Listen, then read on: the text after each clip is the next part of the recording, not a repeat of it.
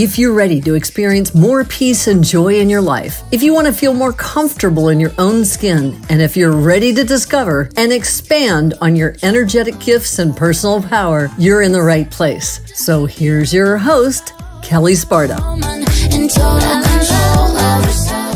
Welcome back to Spirit Guides. I'm your host, Kelle Sparta. I'm here as always with my co host and best friend in Boquete, Katherine Loranger, and we are both spiritual business coaches. And we are here to talk to you about how to bring your spiritual work into your work world and how to make that work well. So, work, work, work. So, all right. So today we're going to talk about imposter syndrome. I think I can. I think I can. I don't know. I'm kind of not sure if I'm good enough, but we're going to try. And I'm going to put on a face that says I've got everything under control. I'm perfect. It's all good. Sound familiar? Yeah. I think we've all been there. So, imposter syndrome. You want to you want to take off on that one and start with that since I talked so much in the last episode? uh, sure, sure. Yeah, I could totally do that. I know you can. I know I can. I know I can. So so I want to say that imposter syndrome is so common. You know, I think mm-hmm. that for so many entrepreneurs, we look to other people and not just entrepreneurs, but just like life in general we look to other people and it looks like they have got it all figured out. They know what they're doing. But inside of us, there's this like feeling of like, what the F? I don't, I don't know what's going on here. I don't know how to do this. I don't know, you know, I just, I feel like an imposter. And so the first thing I want to say about it is if you're feeling that way, good job, high five, you're a human being. Because we all feel that way from time to time. So that imposter syndrome is is really a common thing that you're going to experience anytime you start to step outside of or get to the edge of the life that you have known. So anytime you maybe you're going to try something different, you're going to choose to show up differently in life, you're going to go for a different kind of job, mm-hmm. you're going to do something different in your business, you're going to make a move. Anytime you do something different than what you have already been doing, your subconscious mind is going to feel threatened by it. And so it's going to want to keep you in the comfort zone. And so it feels threatened by it because it's unknown. So our subconscious mind doesn't know the difference between the unknown of, you know, making a different move in your business to the unknown of going and trying to pet a saber-toothed tiger. So it perceives them both as dangerous and threatening. And so of course, it's going to raise up all of its its tactics to try to just get you to stay in doing what you've always done, right? It's like that expression, the devil you know is better than the devil you don't. So it, you know, it might pull up voices like, you know, what do you what do you think you're doing? Who do you think you are? What are other people going to think about you? You can't do this. Like, oh, look at that time in the past that you failed. You're an idiot. You know, what what if it goes wrong? What about your kids? How are you going to pay your mortgage? Like it just brings all of it out to try to get you to to avoid doing that. And so all of those little subconscious voices are going to result in you feeling like I I I geez, I feel like a fake, right? I feel like a fake. Yeah. Can I jump in for two seconds? Absolutely. I just want to I want to define some terms for people because we've used the term comfort zone. And mm. one of the things that I hear from people all the time is like, well, you know why why would i want to leave my comfort zone? I'm like because most people's comfort zones are not actually comfortable. Mm-hmm. they're the devil you know versus the devil you don't. And mm-hmm. they're actually usually quite uncomfortable.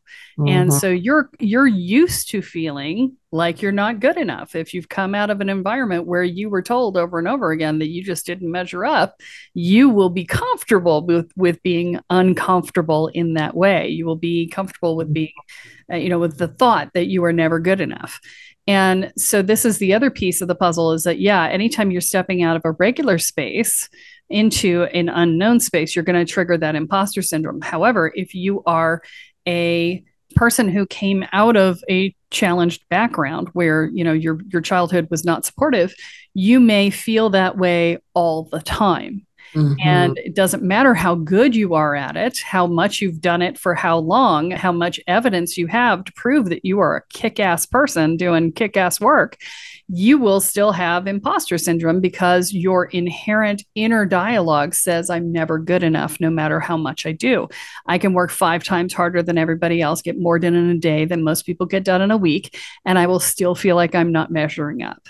And mm-hmm. that will create imposter syndrome as well, if that's your inner dialogue. And so those those are things that can actually create it as well outside of the new environment concept, right? Yeah. Yeah, absolutely, Kelle. Really good points. Yeah. And and this is where and I love your that you started with the comparing your insides to other people's outsides is totally not okay because think about yourself there for a minute. You are putting on this great mask and you're saying, "I got it all together. Everything's okay. I am the person who, who you know, I have it all done, right?" And on the outside, everybody else looks at you and thinks that's true. And on the inside, you're going, I'm never good enough, right? So imagine what's happening in other people's heads. It is totally unfair to be judging yourself by their outsides because they're likely doing something similar to what you're doing. So give yourself a break and let yourself be human. Okay. We'll start with that. Mm-hmm. All right. Now I'll let you talk again. I just oh. had to stick my two cents in. Yeah. No, no, no. I, I love that. Absolutely right. And that's so I want to talk a little bit more about kind of stepping outside of the comfort zone. And the reason that I find so so in the work that I do, we work with the vision, which is, you know, we've talked about this in previous podcasts, which is what would you love? And that what would you love is actually a way to tap into your soul's purpose for your life your dharma your direction. And you might not get it like right out of the bat but it's going to give you at least a direction to move into. And so the what would i love is is going to by definition be outside of the comfort zone. And so maybe right now my comfort zone is that i feel like a piece of crap and a total failure and a loser and a fake. And you know i have this imposter syndrome going on the what I would love is to actually feel confident and to feel like at peace with who I am. And so it's going to require that you step outside the comfort zone of where you are, which is the the, the devil that you do know. So one of the beautiful aspects of working in this way is that anytime you start to move towards that vision of what would I love, it's calling you to step outside the comfort zone it's going to automatically elicit those limiting subconscious beliefs. It's going to elicit the things that you're saying to yourself that are so deep you're not even usually typically aware of them. It's going to elicit the things that are screaming into your head, you know, on a daily basis. The beauty of that is you don't need to go digging to find them. Right. Because what you look for, you find, and the universe brings you back that in abundance. So we don't want to go looking for the the the limiting beliefs because they will come up anyway. So when you're asking what would I love and you're starting to take actions and those actions could be thinking a different thought, it could actually be taking an action, it could be making a decision. There's so many ways that we can do that it's it's requiring you to just step outside that comfort zone and then all the stuff that's keeping you where you are right now is going to show up.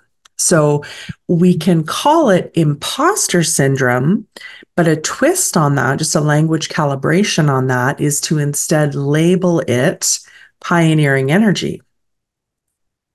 Like can you Kelle feel the difference when you so if you and and listeners like so imagine right now you're saying, Oh, I have imposter syndrome, and then try on, Oh, I have pioneering energy. Yeah, for a new for a new engagement that works. I I tend to use identity shift as the mm-hmm. as the piece that we are labeling it as is mm-hmm. to say look i'm stepping into a new version of myself mm-hmm. i'm letting go of the parts of myself that no longer fit in mm-hmm. this new me right? Mm-hmm. So mm-hmm. there's a process that people go through when they do that, and it's called foundational deconstruction. That's what I call it. So but the idea is that you're literally ripping out the foundation on which you stand as a person and and allowing it to recoalesce and so I, when I say allowing, people try to like really solidify it very quickly after they've pulled it out, and because it's disorienting, right? You know, if you if you do a small one, it's just a little disorienting, you know. But if you do a big one and you rip out all the foundations, I did that back in the early 2000s, and there was like three weeks where I was unsafe to drive. I would walk into doorways because I didn't know where my edges were. I'd get out of the shower with shampoo in my hair because all of my rote activities were gone. And I had to be consciously paying attention to what I was doing to make anything happen because I, I literally just pulled everything out. And then I just waited for things to come back into being. And, and when you can wait for it and allow it to happen, you're in a much better position because what we think we can see for ourselves in the future is limited by who we are now. Mm-hmm. Right. And so when you can just pull it out and just sit with curiosity and wait for it to evolve, you allow your si- your higher self to come in and make that new foundation for you. And if you are like me, you, you, will probably be surprised at some things that got left out. I mean, a cornerstone for me was making sure everything was perfect. I wouldn't let anything go out the door unless it was absolutely perfect. And that did not go back into the new foundation. Not that I am not quality assurance oriented i am but i'm i'm not making myself be superhuman anymore. I'm allowing myself to be human. And there the mm-hmm. perfection piece was absolutely in conflict with being human. And so it just didn't make it back into the new foundation. And i was shocked when i looked at it and went wait it's not there but this feels good and that's okay. And hmm okay maybe i should look at the perfectionist stuff right? Mm-hmm. this is the way that a foundational deconstruction works.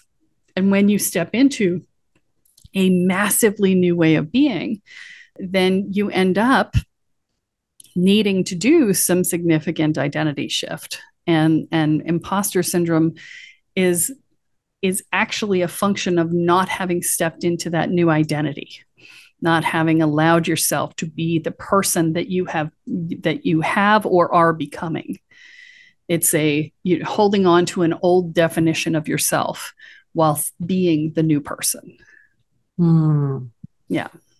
Yeah and you know what that brings to mind for me is the way that the way that transformation happens right? So there's generally two ways that it can happen and and the you know one of them is through that like you said the foundational deconstruction. So that would be like a really intense emotionally intense event. So like a retreat you know uh, you know kind of an in-person or virtual really intensive experience where you just it's kind of like you mix everything up and you rip it out and you you're holding that space and then the other way it can happen is through the repetition.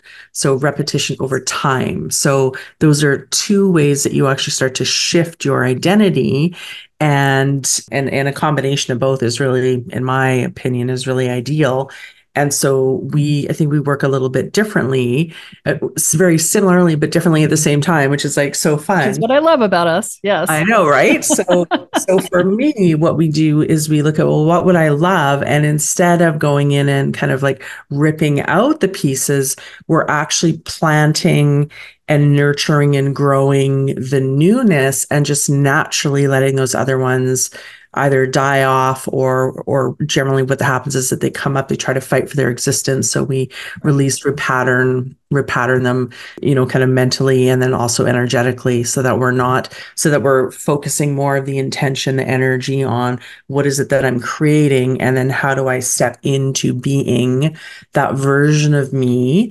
knowing that the pieces that don't fit the pieces that are not a vibrational match will by definition come up to release and repattern. So I don't need to again, I don't need to to look for them, but I do need to just be aware of of when they're coming up so that I can, you know, kind of prune them out, repattern them, release them. Yeah. And I want to say that yes, sometimes you could do a foundational deconstruction at a retreat, uh, but I've got students in my program right now who are doing it all by themselves on their own at home, and that happens too. So the the other thing, and I I love the moving, you know, step by step, and you know, continuing to take action and be in choosing who you want to become and, and taking action in that regard, right? The for letting go and yes, repatterning is great for that. And we do some of that as well. I also have done rituals where people do funerals for their former selves, right? And you're like, if you're making a massive shift, then saying, okay, this this person is gone and we are going to eulogize them. We are mm-hmm. going to bury them. We are mm-hmm. going to, you know, put a gravestone, whatever to be able to say this person is has passed and the new person is me and i am releasing all of the stuff that kept that person as who they were mm-hmm. so that's another option you have for letting go as well i love retreat i love ritual as yeah. well i'm a big yeah. ritual love fan. ritual love so, ritual yeah yeah ritual yeah. is ritual is the way that we speak to our subconscious and unconscious minds Mm-hmm. It is an archetypal process that steps us into a universal source energy that has been done for generations. It's a connection to our ancestors, it's a connection to the land, it's a connection to higher power and and to archetypal energy. It's it's fantastic for doing this kind of work. Mm-hmm. Yeah. Mm-hmm. So, mm-hmm. anything else about imposter syndrome you want to you want to bring up? I want to share a personal story where I was this kind of like major aha moment where with the imposter syndrome. So, I, in a previous version of me, had a business, was in um, not doing what I'm doing now is a different, totally different thing, and had grown it to, it was a multiple seven figure business. So, it was doing really well, getting awards, you know, doing all the kind of like quote unquote right things and yet I always felt like I didn't know what I was doing. Like there was always this piece of me that was like, oh, well, I don't have the MBA or I'm not like a CPA or I don't have this or I don't have that or I'm not an engineer. So I don't, I don't really know what I'm doing here. And the, the piece that it just like, it just like God smacked me in the head was when one of our clients, we had this major $100 million, multiple $100 million client, and they went bankrupt. And they had all of the people who should have known, who, and this is me air quoting, who should have known, right? Right. They had the fancy titles and the thises and the that's and the that's, and they still went, they went bankrupt and there was this when this happened and there was a there was a fallout on our business because they owed us a large receivable. So that super sucked and we had to to close it and stuff. So that was not that was not easy. But what it did for me was this realization that nobody actually really really knows what they're doing. Yes. Right?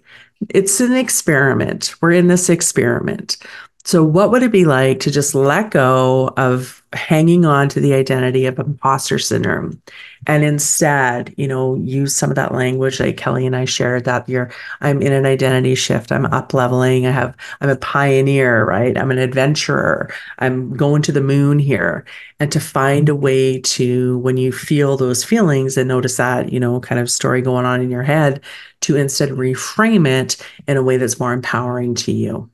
Yeah. I'm a big fan of saying, no, I don't know that, but I can figure it out. Mm-hmm. Right. I, that's what I leaned into my entire career. And I've been running businesses. I mean, I started, I started actually running my first business when my, my friend disappeared because she was on Prozac. I think we talked about this and she just disappeared. And at 19, I was running a payroll company and I had no idea how to run a company. I didn't know anything about business. And I had a bunch of employees that I was responsible for. And I was getting paid $6.25 an hour to run this payroll company because I was supposed to be an administrative assistant. I was not supposed to be the person running the company. But when she left, there was there was a void and somebody had to fill it. And so I learned very quickly that I didn't know anything, but that I could figure a lot of stuff out if I just sat down and started reading some books and going mm-hmm. on. Well, online wasn't a thing at the time. It was 1989. So it was a long time. That's dial up for those of you who are. Yeah, no doubt. That's a dial up we, sound. We didn't even have that. So I didn't get my first dial up internet connection until the mid 90s, I think. But uh, yeah, we were, I was just flying by the seat of my pants and I had no idea what I was doing. And, you know, one of the things that that I learned to lean into because I'm 19, I'm running this, this company. I got employees who are 35 and 40 years old, and I'm like running this company. And uh, and one of the things that I learned to lean into is I can figure it out. And so, you know, nobody knows it all. Nobody. I used to train real estate agents years ago in the 90s. I was a real estate tra- trainer.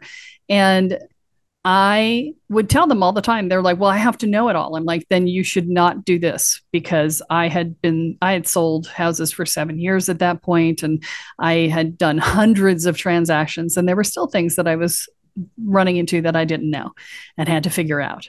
They said, you know, if you wait to till you know it all, you're never going to get started because that's mm-hmm. just not the case. And that's mm-hmm. true in every business you ever run. Is you're always going to be learning, especially if you're doing anything online. Every every 18 months everything online changes. It's insane. So, you know, this there's no knowing it all. There isn't. I've been studying spiritual growth and personal transformation and you know, all of this stuff for 50 years and there's still stuff that I don't know. okay. Mm-hmm. The more you learn, the more you know you don't know. Right. Mm-hmm. So mm-hmm. let it go, you know, just lean into your adaptability and your your willingness to learn. Because if you're listening to this podcast, you are definitely a lifelong learner who loves to suck up information as fast as it possibly will go into your brain. I know you. I see the the pile of books next to your bed, all partially read, and the pile of other pile of books next to your your chair in the living room all partially read. I know, I know. So, mm-hmm. you know, if mm-hmm. you if you know that about yourself, you can find anything. You can yeah. figure it out. It's not a big deal. Let it go. It's all good. Yeah. You got this. We believe in you. All right. And on that, I think we should wrap just, up.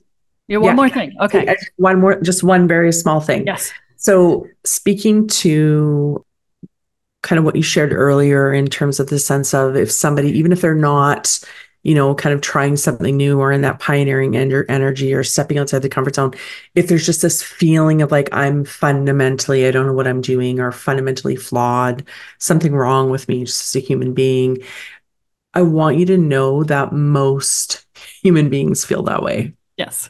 Like the majority of people on the planet feel like that.